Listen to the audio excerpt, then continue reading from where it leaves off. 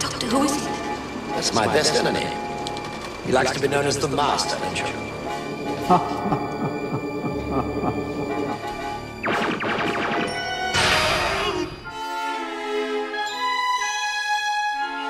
Devious to the last, Doctor.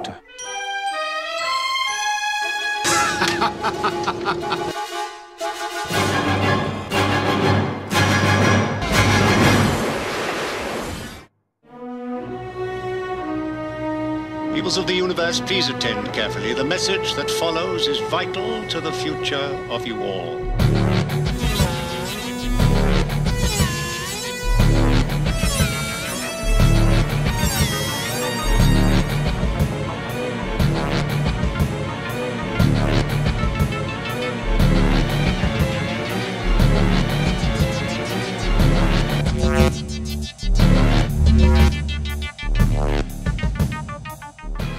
Welcome indeed, everyone, to the 30th anniversary Doctor Who Cabaret, and you are most welcome. We are so excited to see you all here, and uh, we've got a long show to go to, to go through tonight. So I think there's no reason why I shouldn't introduce the very first act. Ladies and gentlemen, this man has brought evil and darkness to many episodes of Doctor Who. And I'm now going to bring him on stage because he's going to bring his evil thoughts and his dark moods. And he's going to come on now and entertain you. Ladies and gentlemen, Mr. Anthony Ainley. Thank you.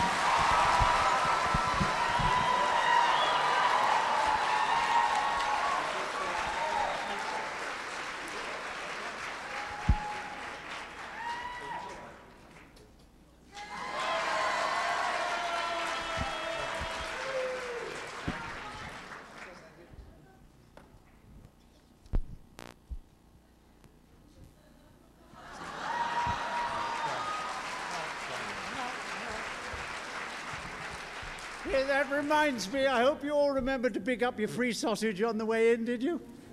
Oh, you didn't? Oh, perhaps you'll get it on the way out. Oh, you are lovely, look at you. I'd give anything to be sitting out there with you watching this act. and I hope you like the white suit.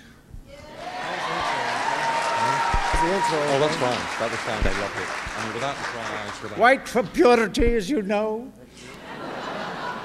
Pure, pure as the driven slush. Ladies and gentlemen, Whovians, Dwarfians, Blakeys, Star Trek lovers, star-crossed lovers, I hope you left all your cares, your anxieties, your apprehensions, your misapprehensions, and may I say, your animosities. I hope you left them all outside the door. Forget them because within these four walls, everything is beautiful.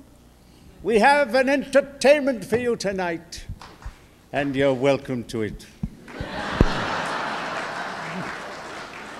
we have, alas, alas, we have no go go girls.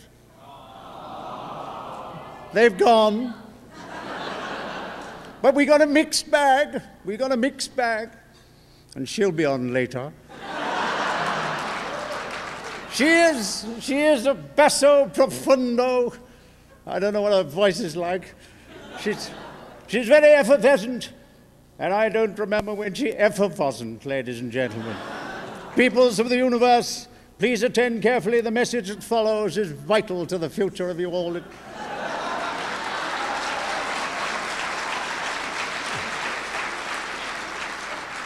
And it is this. There may be, there may be trouble ahead. But while there's music and moonlight and love and romance, let's face the music and dance. Oh, no. Muchas, muchas gracias, amigos, y buenas tardes.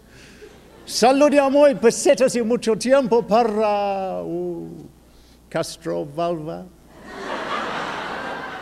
All the world's a stage, and all the men and women merely players.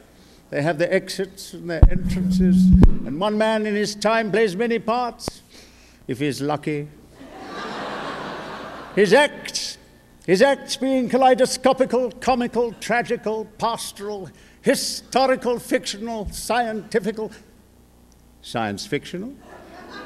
Vaudevillian, who knows, and sweet gentle all, here stands before you tonight, with your gracious permission, a thwarted vaudevillian villain, vaudevillian villain, whose wide grin perhaps conceals the sad frown of the melancholy clown, be that as it may, peoples of the planet Earth, let there be hilarity and mirth, let there be no grumps, no gossips, no gripes, no flack. I come in peace and love. And love the Union Jack. Hey!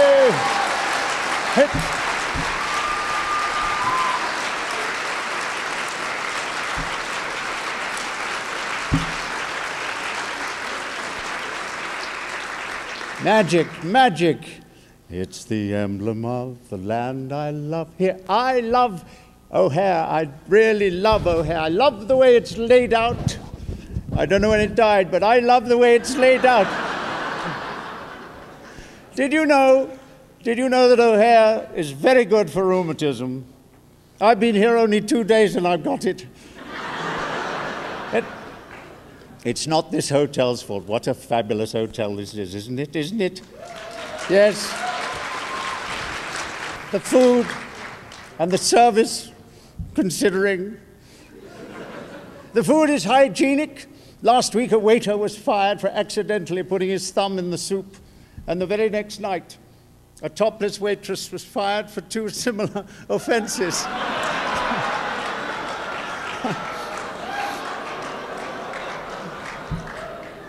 Boy, was she in the soup. Oh, thanks for the memory. Have I got news for you? I have, ladies and gentlemen, messages of love for you from absent friends. And first of all, Mr. Tom Baker sends you all his love. He says he's very sorry he can't be with you. He's very sorry he can't be with you, but he's gone shopping. I think he's buying Scotland. Now, I. I have, I have messages of love for you from Mr. Jon Pertwee. He, yes. I thank you. He's a lovely chap, isn't he? Really. Underneath. Now look, he sends you all his love. He says he's very sorry he can't be with you, but he's, he's slightly indisposed. It's nothing too serious. He's suffering from bites they're love bites, and, and they're all self inflicted. No, no. oh dear. I can't. I can't tell you any more about my colleagues. It's more than my life is worth. They'll, they'll have my guts for garters. They'll, they'll call me Ossip the gossip, and you know I never gossip.